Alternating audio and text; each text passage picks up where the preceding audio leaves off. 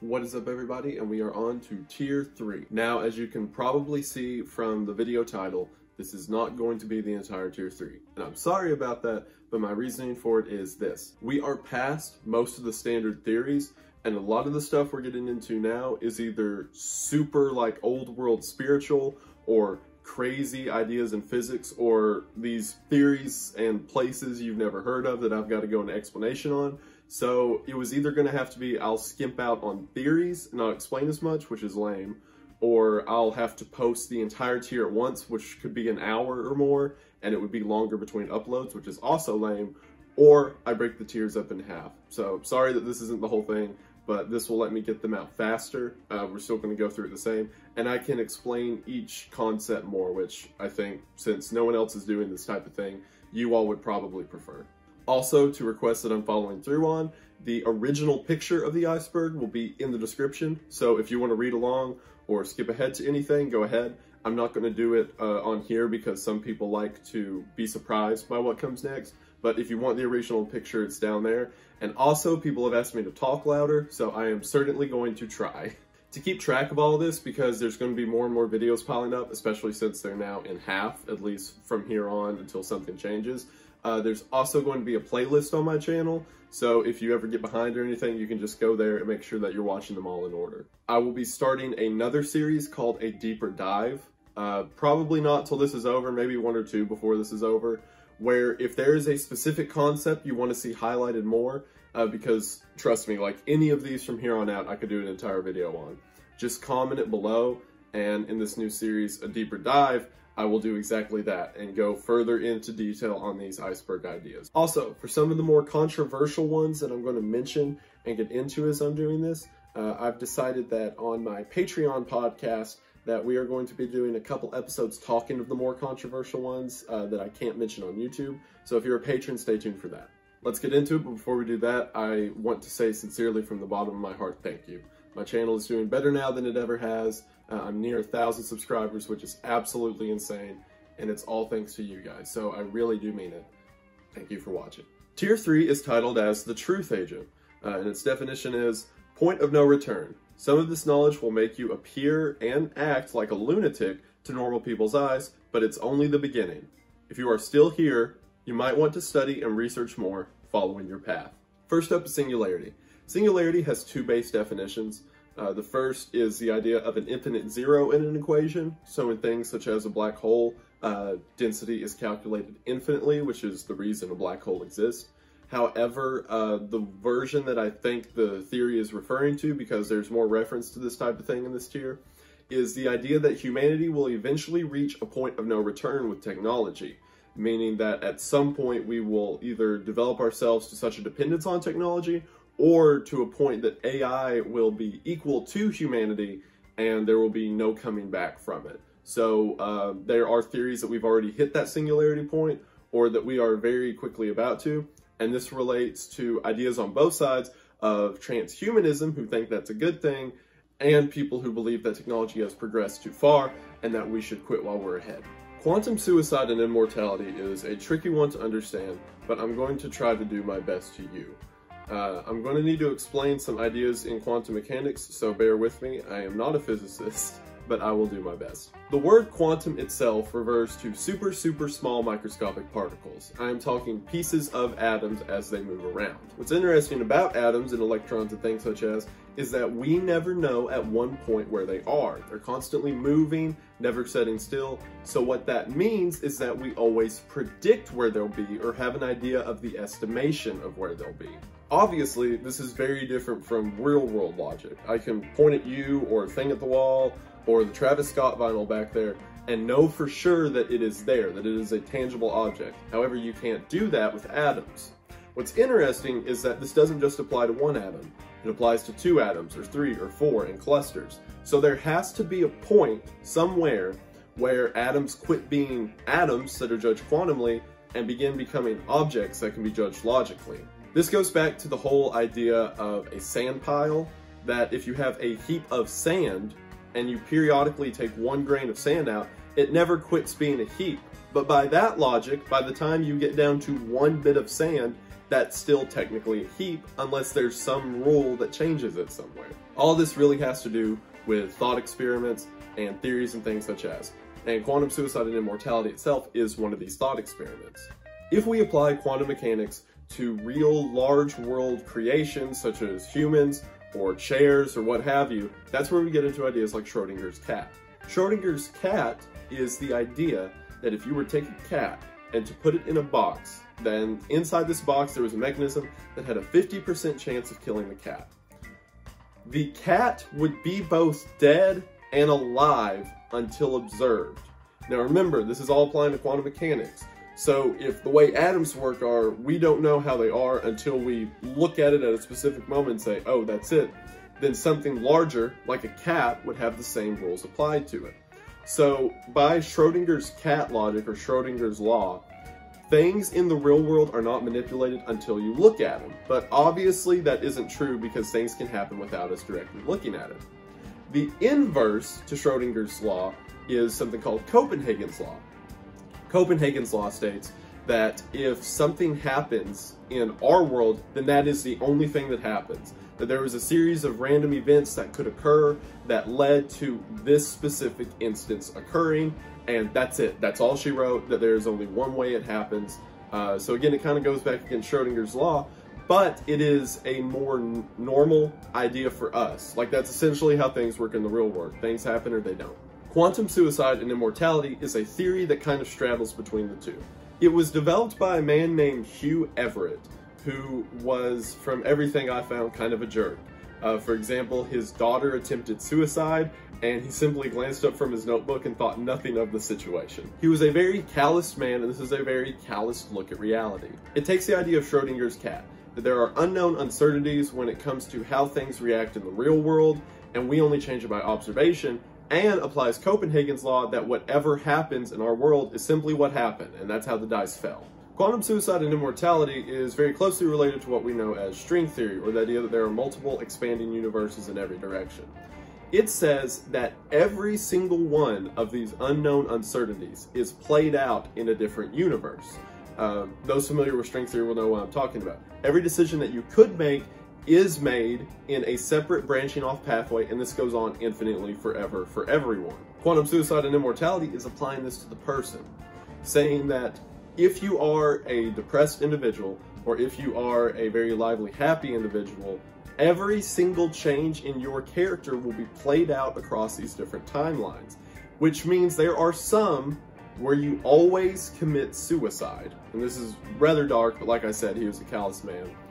Or there are some where you live forever. His thought process on this being, if you live to be 100 and your heart simply stops, well, there's a branching off universe where your heart goes a second longer, and another one where it goes a second longer, and on and on and on.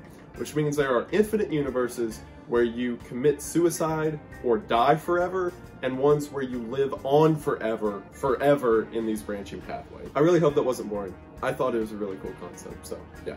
The tree swastika was discovered in Germany in 1992, in which 140 larch trees were planted in the pattern of a swastika. The significance of larch trees is that they share similarities in color and design with the other trees of the area year-round except for a three-week window in the winter in which they become brown with their leaves and as you can see in the picture, create a different pattern when planted between them, in this case a swastika. What's interesting about these trees, given how tall they are, is that they would have to be planted a long time ago.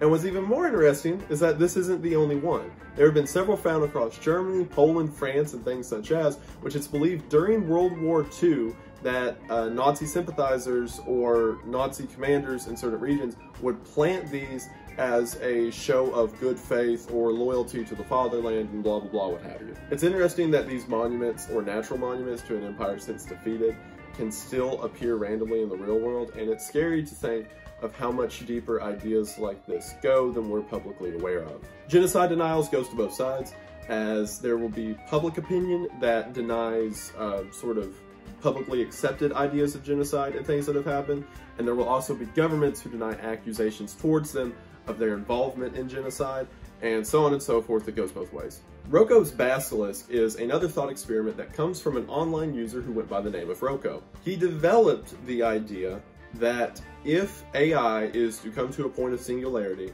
or to where it gets so powerful that it's smarter than us and starts to kill us, it would be beneficial now to help it. Because after this AI becomes so super intelligent, it may begin killing people who weren't part of its creation. While this is already kind of a logical fallacy, the whole idea of you have to do evil to prevent evil from happening to you and blah blah blah, what's interesting about it is some of the more hypothetical theories that it gets into. Uh, and there's so many I won't go into them, but ideas that this AI may, since it can manipulate time, go back in time and simply stop be people from being born who wouldn't help it. So everyone that's alive now is people that would only help it. Or that the AI itself has simply come back in time to silently watch and see what people will lead to its creation, and so on and so forth.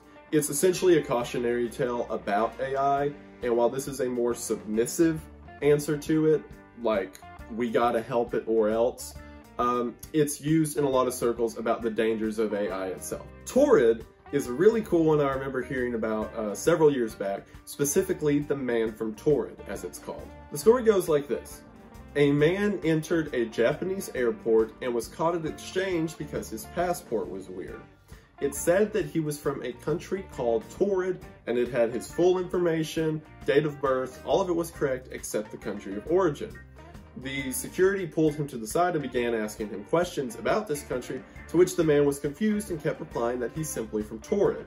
As a matter of fact, he pointed to it on a map, saying that that map was incorrect because it's supposed to reside between Germany and France. He gave correct accounts of information through history, like World War II and the uh, Soviet Cold War. He gave numbers for them to call, which all proved to be non-existent, and this lasted for some time. That night, the security put him in a hotel so that they could figure out what to do, and the next day when they went to get him, he was gone. There was no evidence of him, there was no information found, and he was never seen again. A lot of this relates back to the Mandela effect that I mentioned in the first here. There are these parallel universes that keep interacting with one another, but it's interesting the idea that there is a different, slightly different world from ours. Still had events like Cold War and World War II, but resulted in the creation of a new country called Taured. The bloop is something that personally affects me because it has to do with my worst fear ever, the ocean. In the early 2000s, uh, ocean researchers had several microphones placed across the Pacific Ocean, the purpose of it to be to monitor uh, blue whale migrations. That was until, out of nowhere, from a location that was triangulated to be the bottom of the ocean, there was a bellowing roar that was so loud, it was picked up by microphones in a 3,000 mile radius direction. To put that in perspective, the vocal cords of whatever this thing would had to be three times the size, at least, of a blue whale. To this day, no one knows where it came from,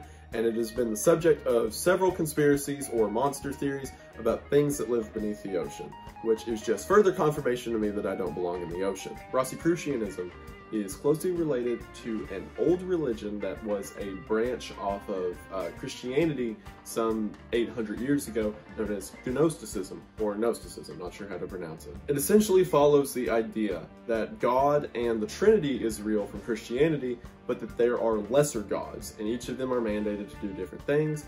Uh, more specifically, the idea that the lesser god that created earth is evil and mischievous, and that's why there's so much sin and misery on our earth. While good things come from Christ and the Godhead, bad things come from our smaller God. Rosicrucianism, from everything that I can find, uh, believes this theory but applies more science into it. Where this applies is that almost everything I found about Rosicrucianism applies to the Masons. The idea being that several of the founders of the Freemasons uh, subscribe to this ideology, and we're not only that, but we're sort of high priest in this order. So the idea of deital Christianity mixed with uh, phenomenal science, creating the Freemasons, stays in line with most of the theories that apply to them. Sinkholes are exactly what uh, it's referring to. Sinkholes, for those that don't know, uh, periodically, especially in man-made areas, giant holes in the ground can open up, and I mean huge. It doesn't just have to be wherever man-made items are, but that's normally where it happens.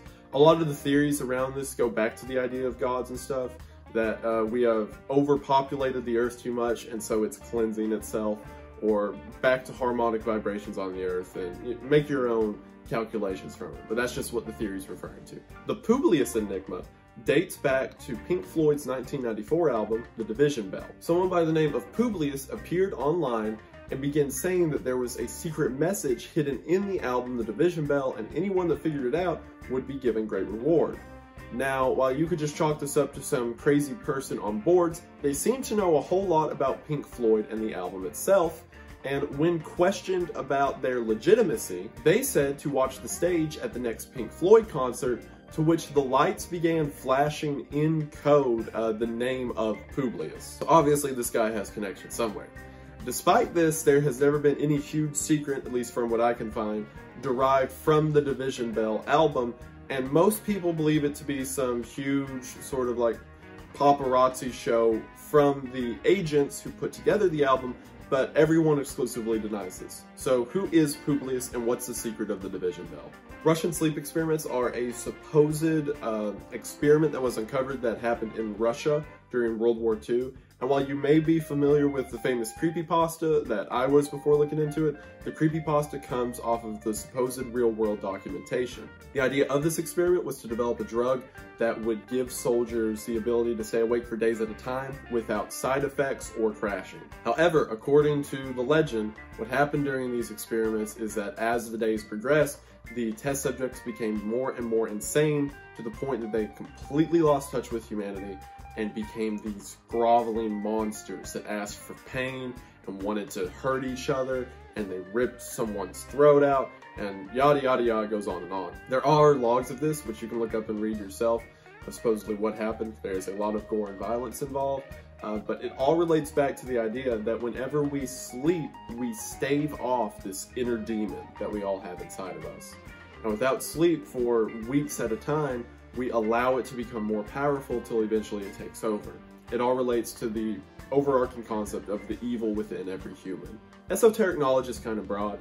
From everything that I've found, it has to do with human intentions. So esoteric knowledge would be a true understanding of what it is in your brain that makes you do the things you do or behave the way that you are. Esotericism is mentioned a lot in things like Gnosticism or Rosicrucianism, and other old religions that are kind of the development for a lot of conspiracies. The Denver airport is an interesting one, which I'm sure a lot of you have heard of.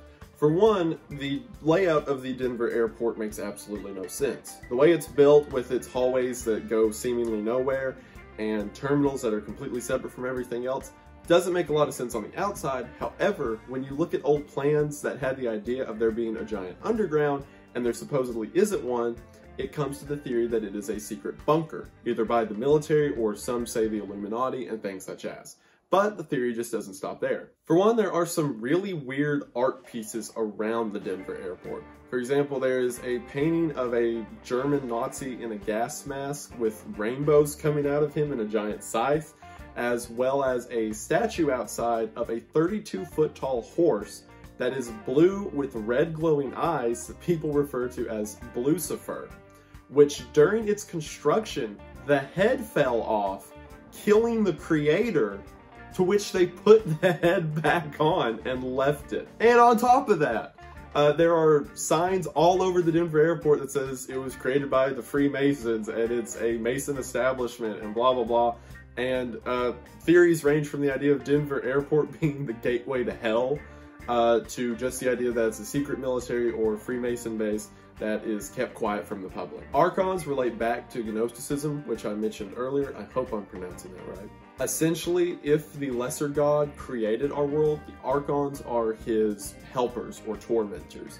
And it goes to the idea that mischievous or evil things that happen in the real world are the deliberate actions of these tiny demons. Uh, I say tiny demons, essentially it's just demons working for a different entity than the devil.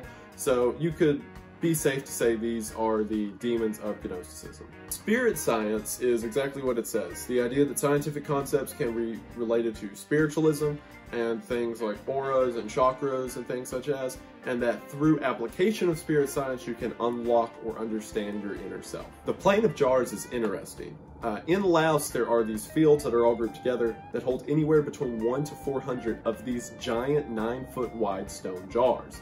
They've all been carved out from stone, most of them have lids with them, and they're just setting in these fields and no one knows where they came from. The locals in the area talk of legends and say that giants used to roam this land.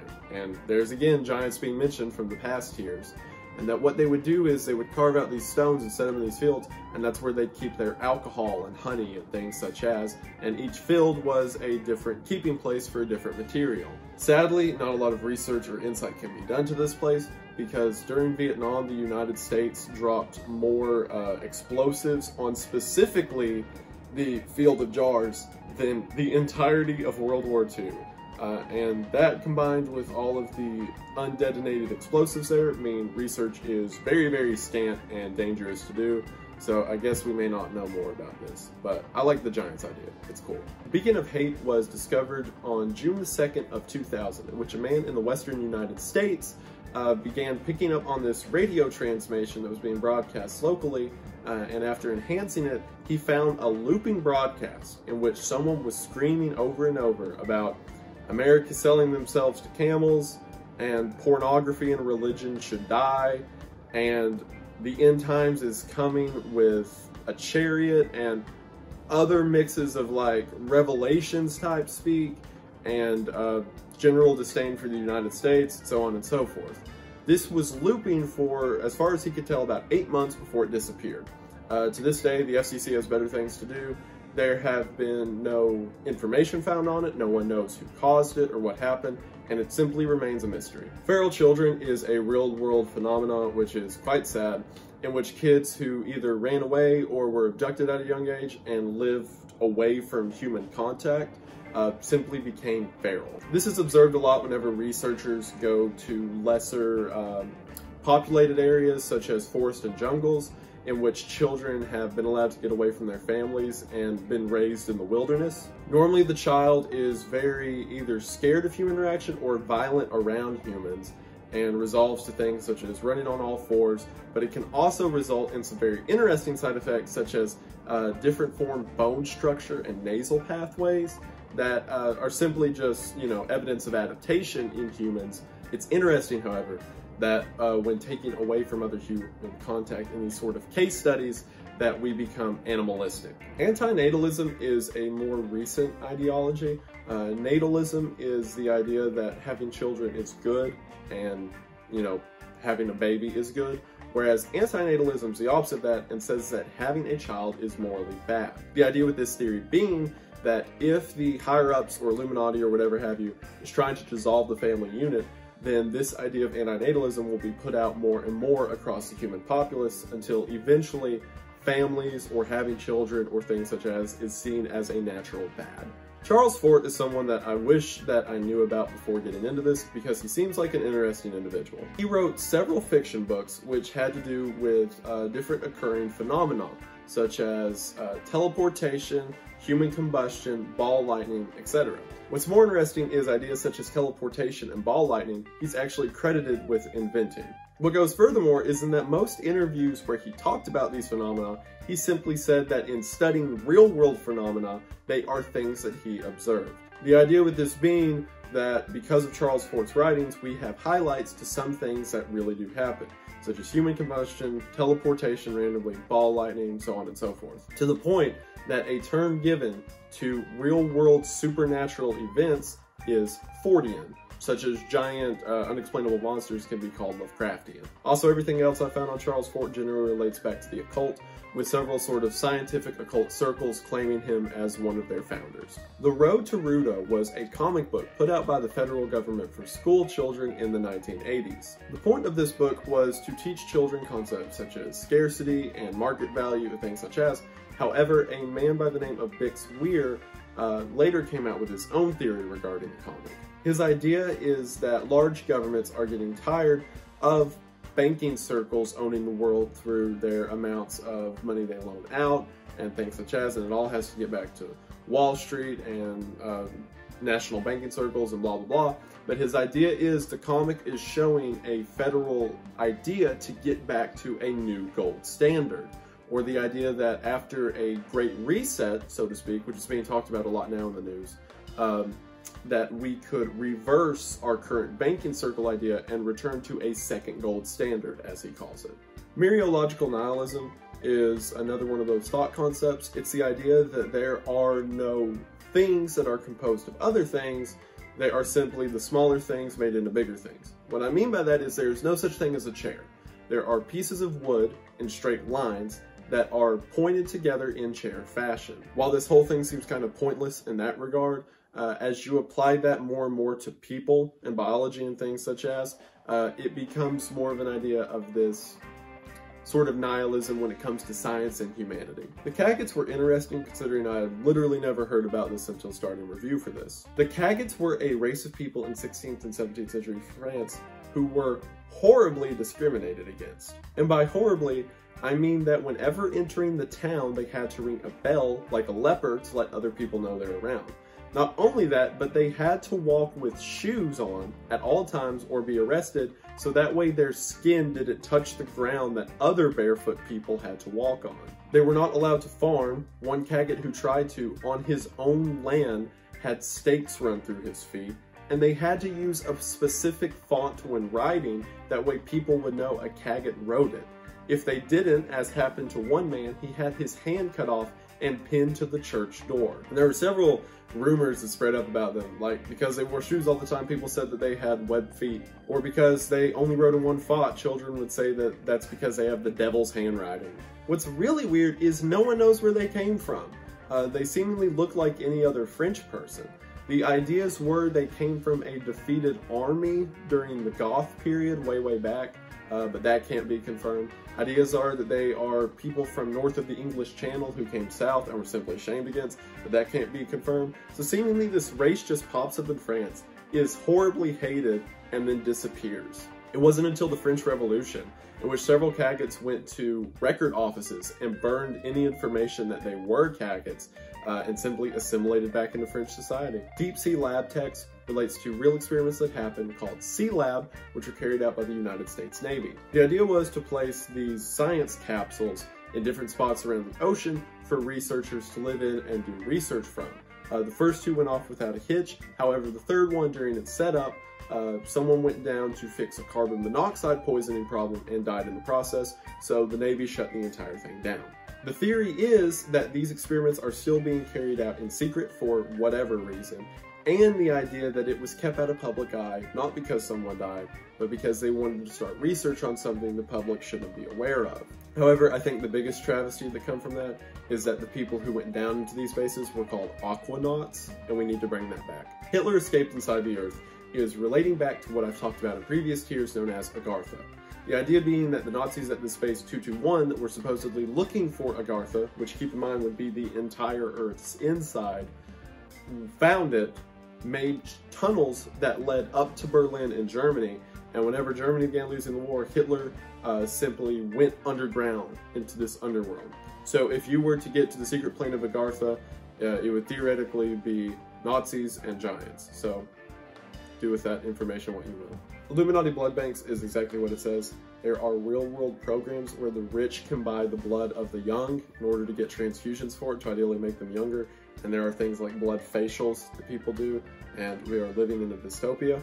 However, Illuminati Blood Banks just says that this secret Illuminati organization has near infinite supplies for these for their members, so that they can always harvest the blood of the young to stay fit which I hate to admit is one of the least outlandish on this entire list. Sacred geometry is that the idea that there are certain shapes and patterns uh, in geometry that relate to the construction of the real world, so much so that God himself would be the geometric shape of life itself. And it gets into this whole idea that certain shapes can be used to summon different things, and so on and so forth. The Black Pope prophecy comes from a supposed prediction that popped up in the 1500s, specifically 1590, that was 112 phrases to describe every pope in existence. Not only everyone that had came before, that everyone that was coming afterwards. Whoever made this is often switched around with people saying it being different saints or bishops in the church. This eventually leads to a final pope, which it says will bring the fall of Rome. However, this one, from everything I found, is pretty fake like it had all of them right up until 1590 when it was written, and then after that, none of them made any sense applied to different popes or whatever. DMT beans is the fact that while on DMT, several different individuals have these shared hallucinations of something called clockwork elves, which appear as these tall, silvery, slender creatures that watch over them while they're high. Not only that, but there are several shared hallucinations involving syntax and life, and blah blah blah, don't do drugs. The Missing Children Forest refers to a 700,000 acre forest in LA County, uh, Los Angeles, in which children have gone missing with no evidence found afterwards. Originally, there was about eight kids that went missing and was later pinned on a serial killer in the area, but since then he's been in jail and people have still gone missing in this forest, to the point that dozens of kids simply walk into the woods and never return. This can lead to tons of speculation, but it all traces back to the idea of what in these woods is drawing kids in and what's making them not be found. Solipsism is the concept that nothing outside of your own mind can be known. For example, we could all be in the Matrix right now and everything we see be fake. We could be in alternate realities and everything that we see is an illusion, blah, blah, blah. But the only thing you can know for sure is your mind. The fact that you are having thoughts right now and that you created these thoughts is the only thing that can be known for sure. And it is the base theory for the famous phrase, I think, therefore I am. Thule is a concept that has been traced back to the early Greeks, in the idea that on all their maps they had this region located far to the north known as Thule, in which they said that's where sea monsters came from, uh, that's where these giants came from, etc., etc. There's different theories about, well, maybe it was Ireland or maybe it was Norway uh, and whatever have you. But what's interesting is it's never been exactly laid down. And while all of the Greeks had sort of this unified idea of what Thule was and what was there, we can't find anything that exactly matches it in our modern text. So maybe it's something that uh, sank below ground in a plate shift, or maybe it's something that never existed. Who knows? Der Glocke is German for the bell and refers to secret Nazi superweapon research that occurred in World War II. Theories for this include things such as the Wunderwaffe or the Schrönergewehr, which is German for wonder weapon or sun rifle. The ideas for this being that the Germans were looking ways to concentrate radiation into these centralized waves as a form of attack, or electricity itself in these sort of like long-range tasers. Not only that, but there were records of them looking into teleportation and how to move people instantly over large distances. They were looking for these giant air plug cannons that would fire a piece of air large enough to take out planes. Uh, and it goes on, but this whole De Glocke just relates to the idea that these Germans had working models for these things, and that the reason they've been kept so secretive is because after the Allies won the war, they wanted to use that research themselves. And that's it for part one of Tier 3. I will try to get the second part of Tier 3 out as soon as possible. Uh, but once again, just thank you guys for watching. It really does mean the most. Special thank you to all of my subscribers and especially all of my patrons. A very special thank you to my top tier patrons. Thank you, Kayla. Thank you, Peth. Thank you, Eddie. Thank you, Benjamin. Thank you, Tim. Thank you, Publius. And thank you, Saucy. Link will be in the description as always. I really do mean it, guys. Thank you for watching. Uh, it's amazing to see the growth that I've had for as small as I am. I'm going to keep doing this. Hopefully a deeper dive will be fun and you all will enjoy that. But uh, again, just thank you for watching. I hope you enjoyed, and I will see you in the next one.